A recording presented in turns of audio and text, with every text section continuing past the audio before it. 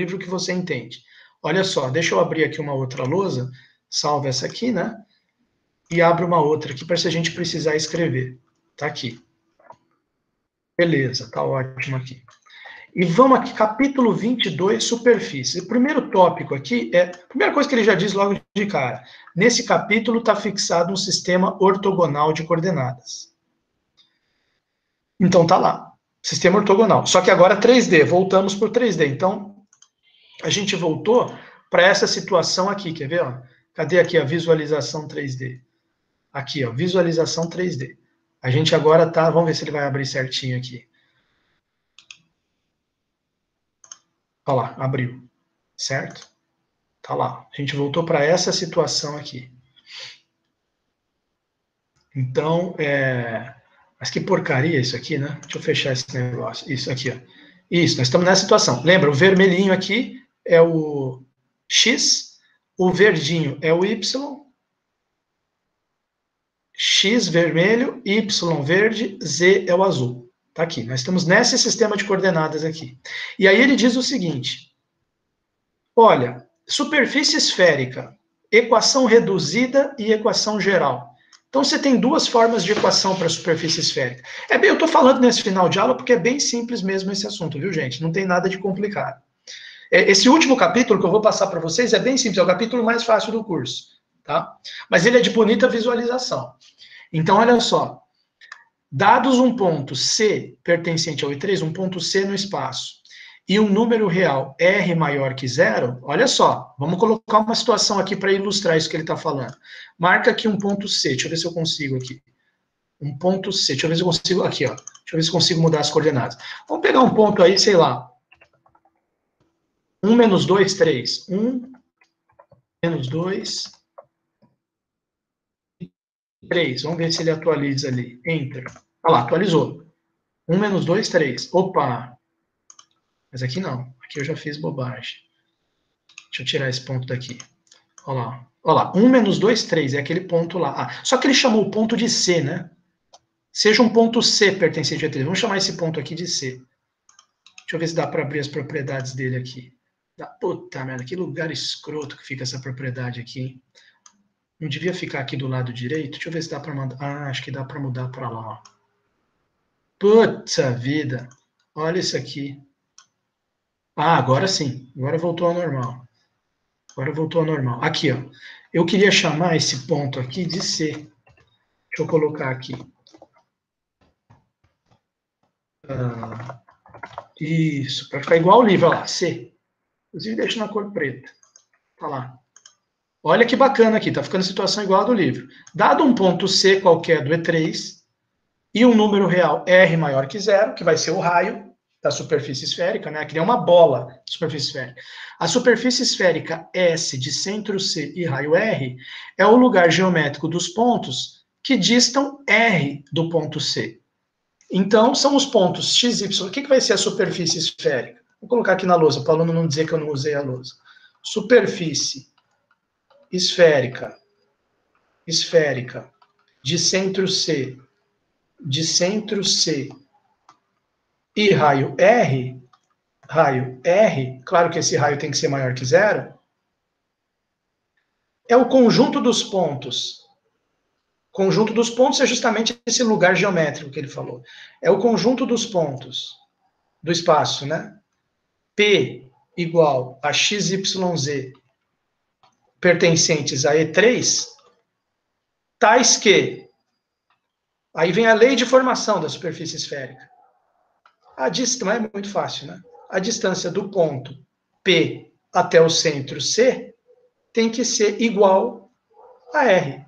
Então, se a gente aplicar a fórmula de distância, imagina que esse C aqui, que as coordenadas do C sejam x0, y0 e z0. Como é que vai ficar essa fórmula da distância aqui? Vai ficar x menos x0 ao quadrado, mais y menos y0 ao quadrado, mais z menos z0 ao quadrado, tudo isso raiz, igual a r. Eleva ao quadrado os dois lados, você ficou com x menos x0 ao quadrado, mais y menos y0 ao quadrado mais E menos E0 ao quadrado igual a R ao quadrado. Fechou. Essa é a equação que a gente chama de equação reduzida da superfície esférica. Está aqui. E aqui ele apresentou aqui no livro. Se você continuar a leitura aqui, ó, é o lugar geométrico dos pontos G3 que distam R do ponto C. Assim, pondo P, XYZ e C, X0, Y0, Z0, igual eu fiz aqui na lousa, temos que um ponto pertence à superfície esférica se e somente se a distância do P até o C dá igual a R. Exatamente igual eu expliquei aqui. A distância do P até o C dá igual a R. Que vai cair nessa equação aqui. Que cai nessa equação aqui. x menos x0 ao quadrado, mais y menos y0 ao quadrado, mais e menos e0 ao quadrado, igual a R ao quadrado. Essa equação é chamada de equação reduzida de S. Então, vamos pegar um exemplo nosso aqui. Digamos que o, o raio... Repara que o que aparece aqui é o raio ao quadrado, hein? Cuidado para não confundir. Então, por exemplo, se eu quiser uma superfície com esse centro aqui e com raio 1, vamos ver. É, vamos supor que eu queira uma superfície esférica que tenha esse centro aqui e que ela passe na origem. Então, o raio dela tem que ser a distância do ponto C até a origem. Olha um exemplo que eu estou criando aqui com os alunos, né? Vamos colocar aqui embaixo, ó, um exemplo. Exemplo.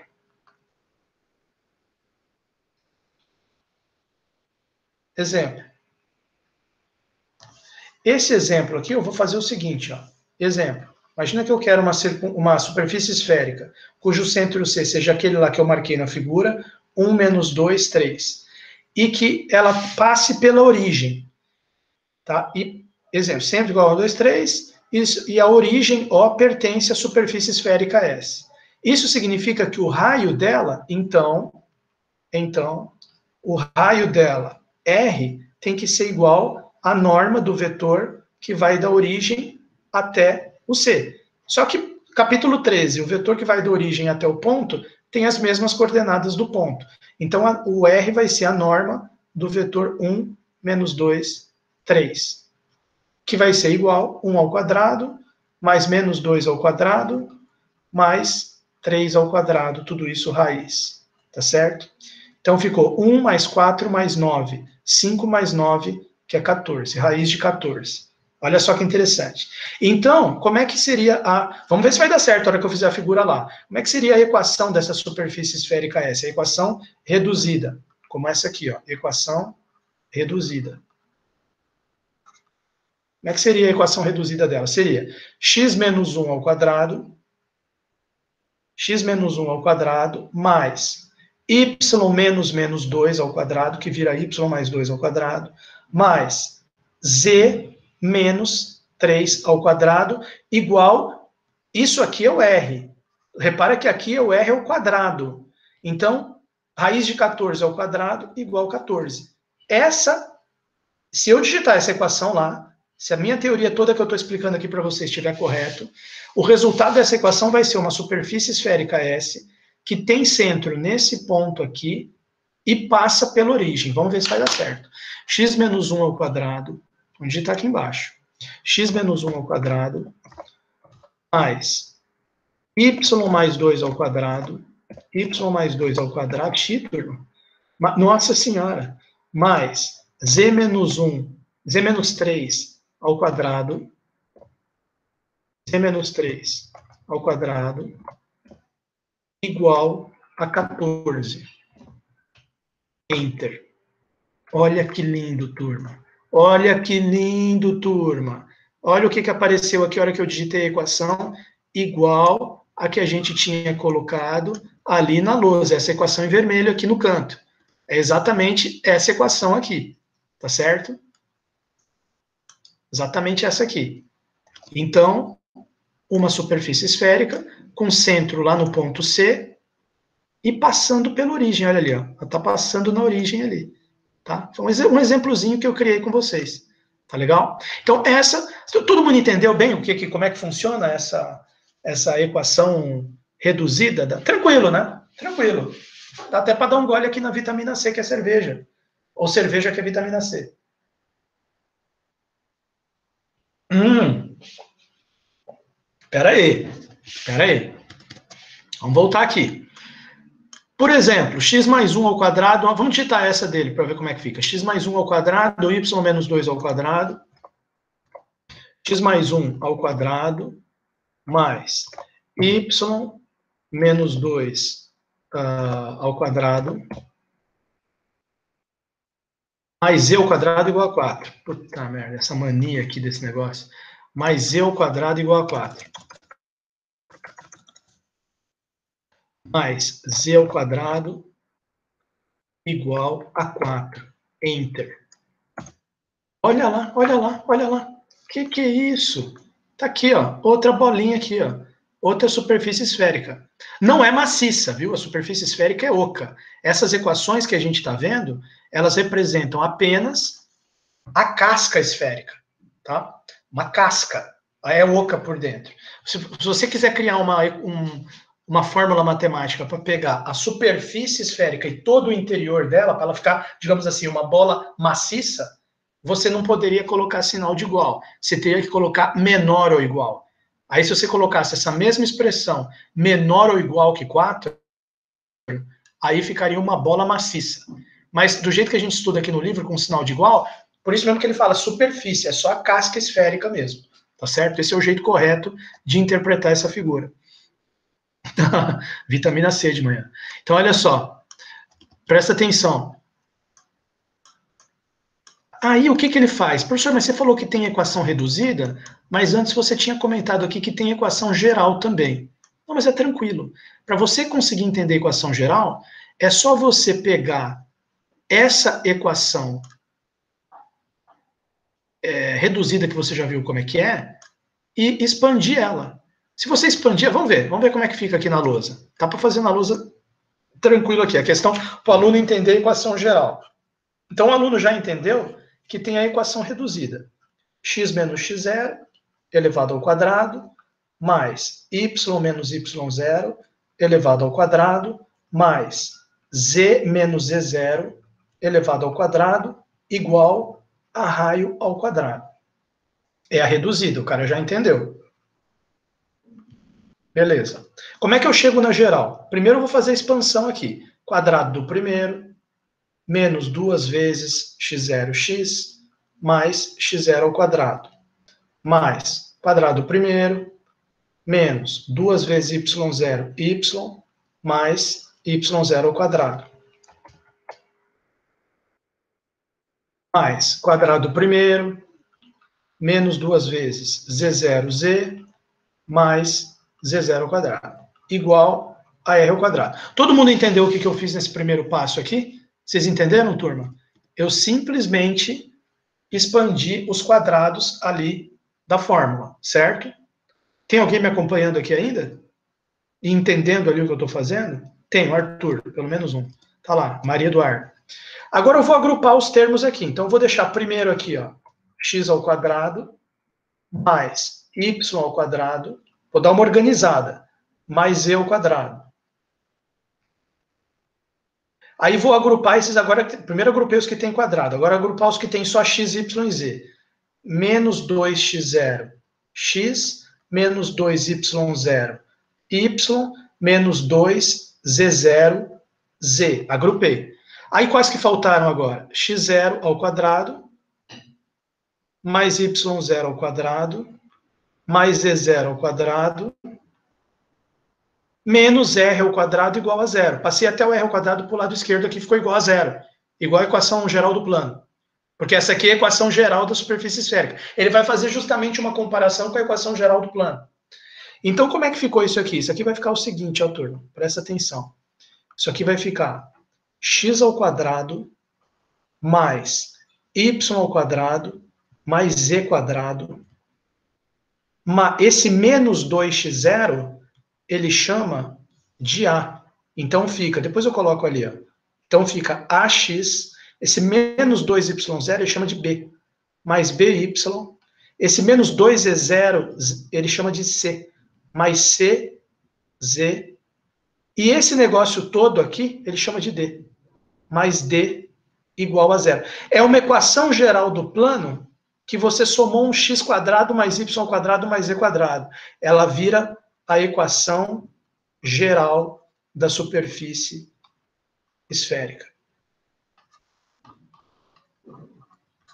Ok? Lembrando que, lembrando que esse Azinho aqui é menos 2x0. Ou seja, o x0, que é a coordenada x do centro da superfície esférica, é menos a sobre 2. Lembrando que esse bzinho aqui é menos 2y0. Isso significa que a coordenada y do centro da superfície esférica é menos b sobre 2. E, lembrando que esse czinho aqui, ele é menos 2z0. Então, a coordenada z do centro da superfície esférica, que é o z0, vai ser menos C dividido por 2. Ok? Ah, professor, e esse D? Vamos falar do D. O D é importante. O D, vocês viram que ele é isso aqui, ó. O D, ele é igual a x0 ao quadrado mais y0 ao quadrado mais z0 ao quadrado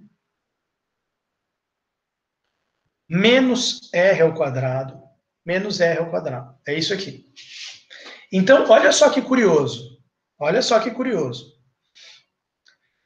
Uh, o centro, todo mundo está vendo essas considerações finais que eu fiz aqui, que o centro da superfície esférica, o centro C, vai ser dado por x0, y0, z0, ou seja, ele vai ser menos a sobre 2, menos b sobre 2, menos C sobre 2, em termos da equação geral. Quer dizer, quando eu ver a equação geral, eu vou localizar lá os coeficientes ABC. Se eu fizer menos cada um deles dividido por 2, eu já tenho as coordenadas do centro. Mas e o raio? Aí você vai falar, bom, professor, o raio, eu vou estar olhando aqui. Quando eu olho na equação reduzida, é muito fácil identificar o centro e o raio. O raio ao quadrado é um número que aparece do lado direito. Só tirar a raiz, você tem o raio. Na equação reduzida.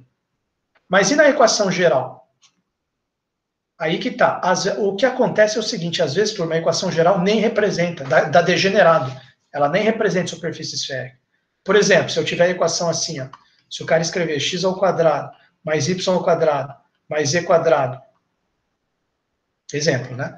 Mais 1 igual a zero, é um caso particular dessa equação aqui? Claro que é. O cara pegou ABC zero e pegou D igual a 1 que, que isso aqui dá? Conjunto vazio. Isso aqui equivale a conjunto vazio.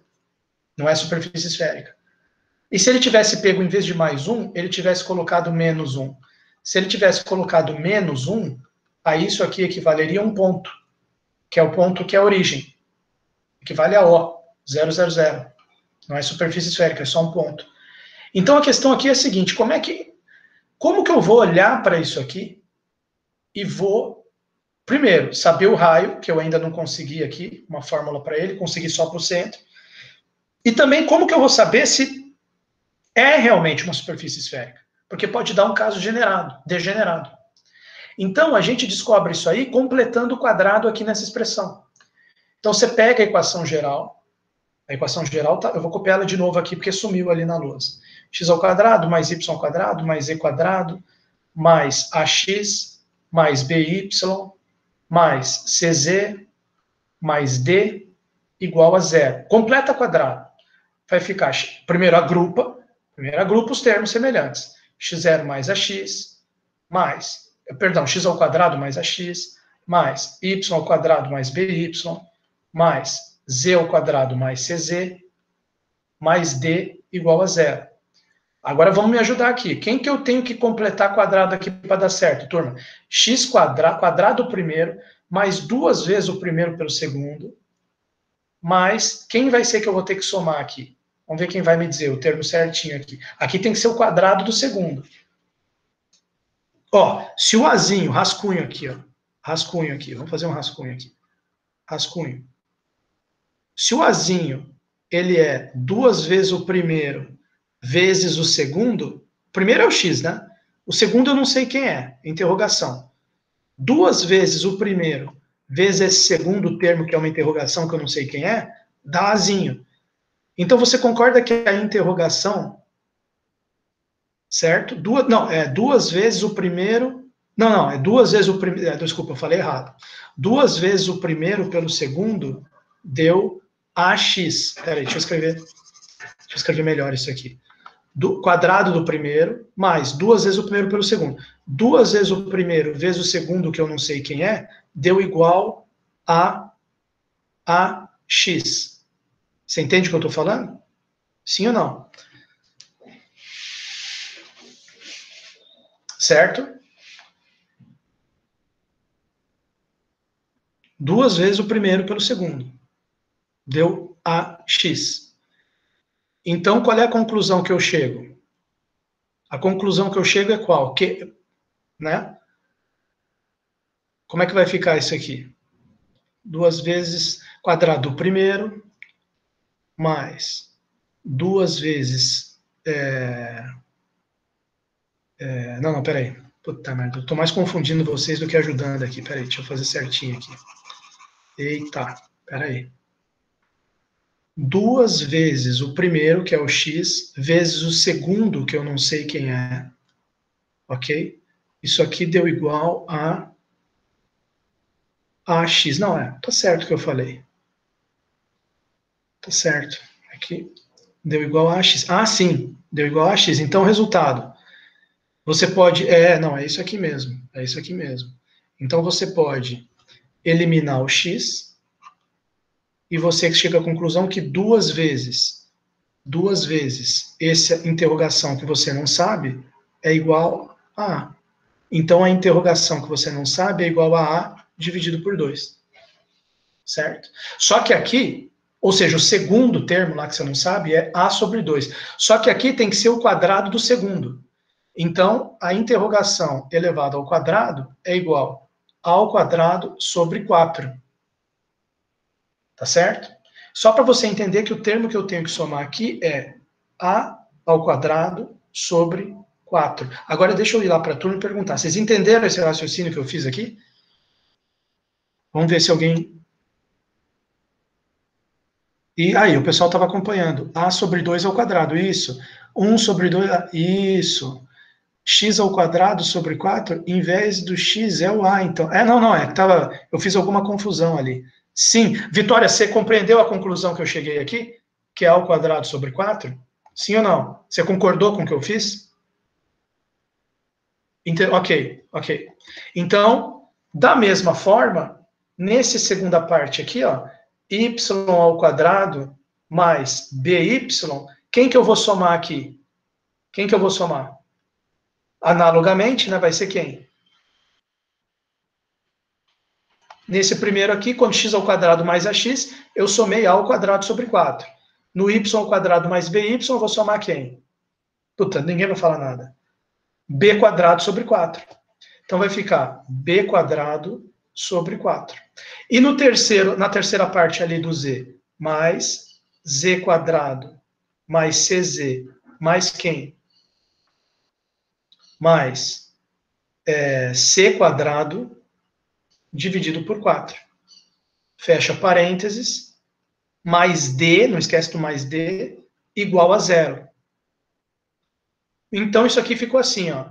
x mais a sobre 2 ao quadrado, mais y mais b sobre 2 ao quadrado, mais z mais c sobre 2 ao quadrado, mais d igual a zero, tá certo?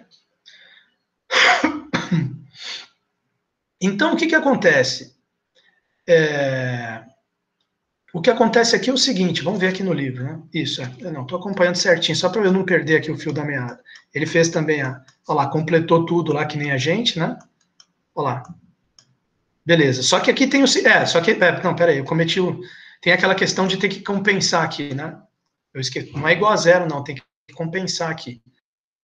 Eu esqueci de compensar, deixa eu fazer o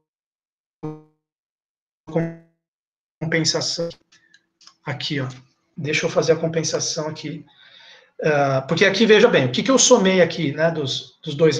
Eu tenho que, eu tenho que compensar do lado direito, então isso implica que a interrogação ao quadrado é igual ao quadrado sobre 4, só para fechar aqui. Aí, voltando aqui, eu somei A ao quadrado sobre 4 do lado esquerdo, A ao quadrado sobre 4 aqui.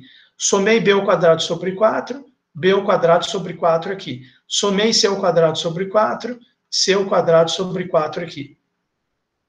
Então, aqui ficou A ao quadrado mais B quadrado mais C quadrado, tudo isso sobre 4. Então, passando o D para o lado de lá, para ficar igual à equação reduzida, vai ficar x, esse mais aqui, é como se fosse menos, menos A sobre 2. Tudo isso ao quadrado. E eu vou ficar igualzinho à equação reduzida, perfeita.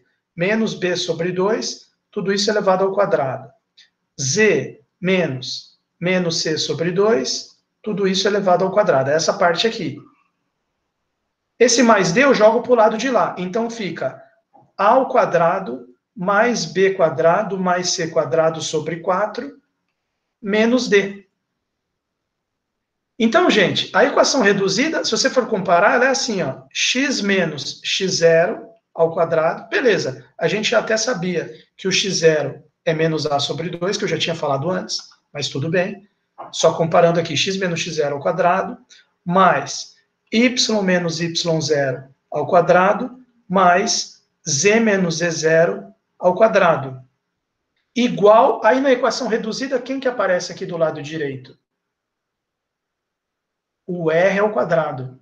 Olha lá, a parte esquerda eu já escrevi lá embaixo. Só que do lado direito é o R ao quadrado. Então, isso significa, agora você está vendo claramente, comparando aqui os dois, que o R ao quadrado tem que ser igual a, se eu tirar o mínimo aqui, né? A ao quadrado mais B quadrado mais C quadrado menos 4D dividido tudo isso por 4. Ou seja, o raio, ele é raiz quadrada de A ao quadrado mais B quadrado mais C quadrado menos 4D dividido por 2. Esse é o raio. E, portanto, respondemos essa pergunta aqui, né? Raio igual a quanto? Então, já descobrimos. Raio é igual a isso aqui. E qual que é o critério para você saber que essa equação geral que eu tinha escrito aqui para vocês, equação geral, que é essa aqui, qual que é o critério para você saber se ela realmente é uma superfície esférica e não é um caso degenerado? Critério. Critério para a equação geral. Para a equação geral. E com isso eu encerro a aula. O critério é, o raio não pode ser negativo, nem pode ser zero. Ele tem que ser positivo. Então o critério é esse número aqui ao quadrado, que é quem manda no raio, né? Porque o 2 já é positivo, fixo, né? E para que o, o, o, o que o raio, vou até escrever melhor, o raio tem que ser maior que zero. Vou escrever em vermelho aqui, ó. O raio tem que ser, o raio tem que ser maior do que zero. Raio tem que ser maior do que zero. Isso é equivalente, e aí vem o critério, né, que eu estava querendo falar para vocês. A ao quadrado mais b quadrado mais c quadrado menos 4D é maior do que zero. Esse é o critério. Quer dizer, toda vez que eu pego uma equação geral, eu faço essa conta aqui, ó. Eu pego, vou pegar o coeficiente a, a vou fazer o quadrado, a ao quadrado, vou calcular a ao quadrado mais b quadrado mais c quadrado menos 4d e vou ver se o número que deu é maior que zero. Se for maior que zero, significa que é realmente uma superfície esférica, o raio dela vale isso, o centro dela vale isso, e eu posso até escrever a equação geral, reduzida, se eu quiser. Tá? Mas se esse A ao quadrado mais B quadrado mais C quadrado menos 4D não der maior que zero, significa que não é, é superfície esférica, é um desses casos é, degenerados que eu tinha dado como exemplo aqui. Tá legal? Com isso, eu encerro a gravação de hoje. Olha lá, o Arthur ficou meio puto que eu esqueci ali de somar, mas eu já corrigi